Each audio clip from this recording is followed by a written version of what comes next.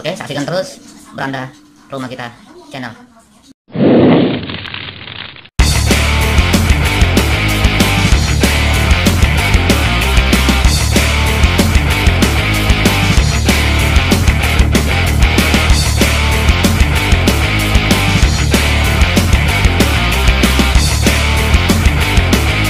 Sekarang kita akan mengaplikasikan bahan yang akan kita gunakan untuk membersihkan mobil ini ya.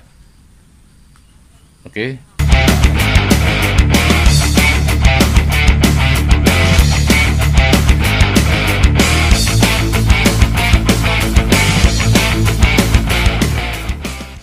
Nah, seperti jamur ini ya teman-teman ya. Ini juga jamur yang membandel akan hilang kalau kita gosok dengan cairan ini. Ini biasanya mobil penyebab jamur pada mobil begini teman-teman ya.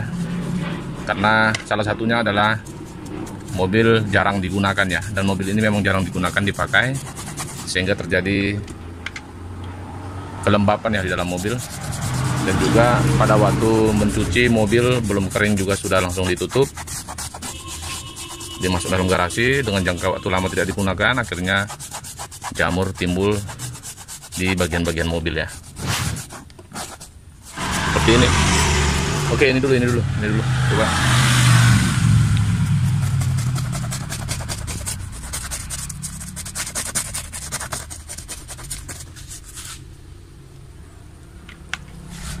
Oke kita akan lihat. Ya. Hanya sebentar saja sudah hilang ya teman-teman ya. Hmm. jamur atau kotoran yang menempel tadi tidak akan tahan dengan cairan yang sudah kita buat ini ya. Dan ini bisa bertahan dalam jangka lama ya teman-teman ya. Yang penting kita bisa memperhatikan kebersihan dari mobil ini.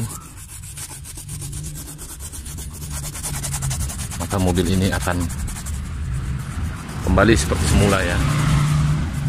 Nah coba dilap dulu pakai lap ringnya dulu. Coba dilap dulu ini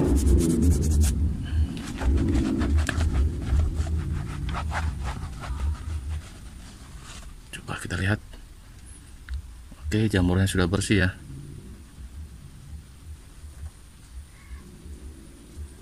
Coba ini dilap. Jadi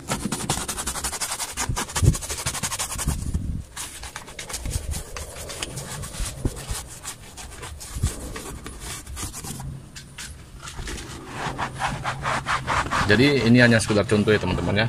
Karena mobil ini akan dibersihkan keseluruhannya tapi kita tidak akan mungkin bisa merekam videonya ya secara utuh semua karena akan memakan waktu yang lama ya teman-teman ya. Jadi sebagian saya contohkan dulu. Nanti setelah sudah bersih setelah sudah kita membersihkannya semua dengan pakai air sabun nanti akan saya tunjukkan bagaimana hasilnya ya. Oke sekarang kita akan membersihkan dulu. Dan videonya saya pause dulu ya. Dan jangan lupa di subscribe ya. Apabila bermanfaat silahkan di like komen dan di share kepada teman-teman yang lain. Tonton terus videonya sampai selesai ya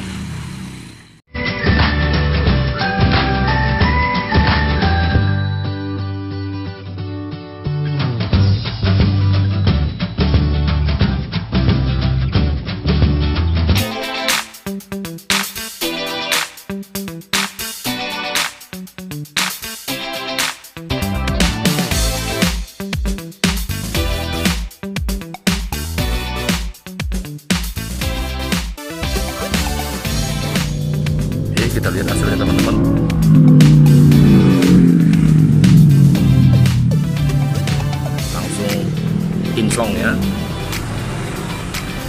Langsung kinclong jamur dan debu, kotoran atau minyak yang lengket hilang dan musnah ya teman-teman. Caranya cukup mudah ya.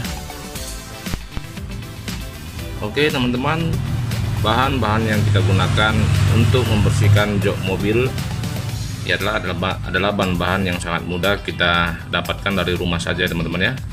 Jadi di sini saya sudah sedia ya, sudah saya sediakan sendiri tadi. Gayung atau wadah untuk tempat air. Lalu kita isi air ya teman-teman ya. Dan kemudian sikat gigi bekas atau bisa juga menggunakan brus. Brus apa saja bisa ya teman-teman ya. Tapi diusahakan uh, untuk serabutnya yang agak halus ya. Jangan yang terlalu kasar. Ini bisa merusak permukaan jok mobil kita kemudian kita menggunakan rinso ya dengan merek apa saja. Apa saja juga boleh yang penting dia deterjen. Dan ini sunlight ya teman-teman ya. Hanya wadahnya saja sudah diganti. Sunlight. Kemudian kita campurkan ya. Beberapa tetes. Satu. Oke cukup. Kemudian rinsonya juga tidak usah terlalu banyak ya teman-teman ya. Oke sudah bisa. Oke nanti cairan ini langsung kita aplikasikan ya ke jok mobil kita. Dengan bahan yang sangat sederhana mobil kita atau interior mobil kita nanti akan menjadi kinclong kembali seperti mobil yang baru keluar dari salon ya salon mobil atau bengkel mobil. Dan ini juga bisa digunakan ke dashboard mobil ya teman-teman ya. Selain kita mengaplikasikannya ke jok mobil juga bisa ke dashboard mobil ataupun atap dari mobil kita ya teman-teman ya. Seluruh interior mobil juga bisa. Dan hasilnya akan mantap. Kita akan mengaplikasikannya sebentar lagi. Oke ayo. Kita langsung ke mobil ini jamu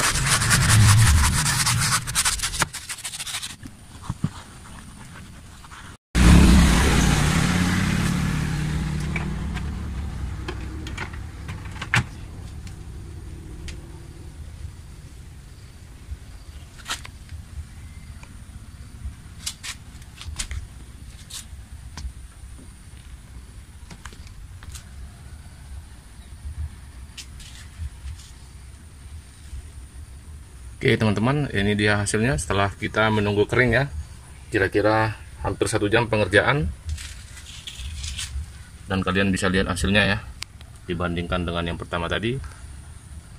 Noda-nodanya atau jamurnya sudah tidak kembali lagi ya teman-teman ya.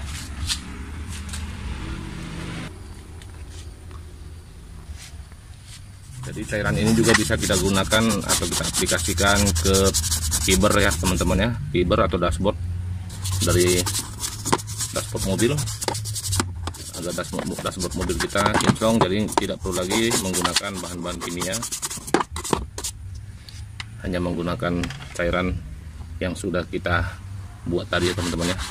Dan hasilnya akan sama saja seperti menggunakan bahan kimia tetapi lebih awet ya. Karena penggunaan bahan kimia jangka panjangnya tidak bagus ya teman-teman ya. Bisa mengakibatkan korosi dan merusak lapisan cat pada mobil ya. Jadi cukup mudah bukan? Sangat simpel untuk menggunakan bahan-bahan yang sederhana. Tidak perlu mengeluarkan budget atau modal yang banyak.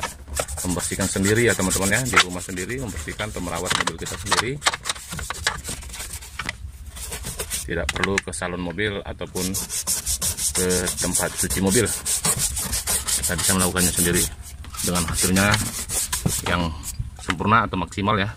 Oke teman-teman sekian dulu video kali ini cara membersihkan jamur pada mobil atau putaran-putaran noda yang melekat pada mobil kita. Dan jika bermanfaat silahkan di subscribe ya teman-teman ya. Di share like dan komen. Kita bertemu di video selanjutnya. Oke